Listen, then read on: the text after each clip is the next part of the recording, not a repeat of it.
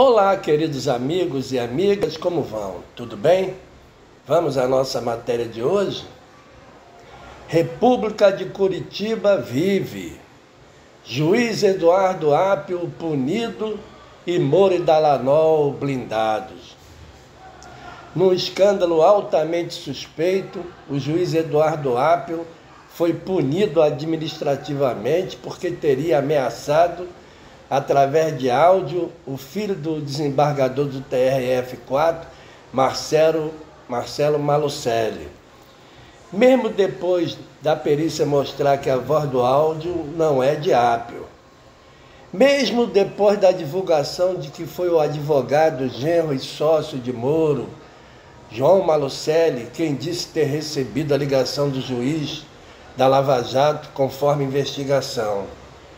Agora a Apple recebe nova punição, volta a ser juiz, mas definitivamente está fora da 13ª Vara de Curitiba. Essa perseguição ao juiz da 13ª Vara de Curitiba, Eduardo Apple, começou quando ele ousou fazer audiência virtual com o advogado da Odebrecht, Rodrigo Tacla Duran, que denunciou a extorsão da Lava Jato. Duran então confirmou, dizendo ter provas que Moro e Dalanol lhe pediram 5 milhões de dólares para uma delação premiada que lhe daria prisão doméstica e perdão de dívida da Odebrecht. Duran chegou a pagar 612 mil dólares, depois denunciou: Paguei para não ser preso. Na primeira vez que Tacla Duran denunciou Moro, este lhe chamou de fugitivo da lei e aventureiro. Entretanto, o jornalista Luiz Nassif publicou em seu jornal GGN: Duran fez depósito na conta de Rosângela Moro, esposa do juiz Moro.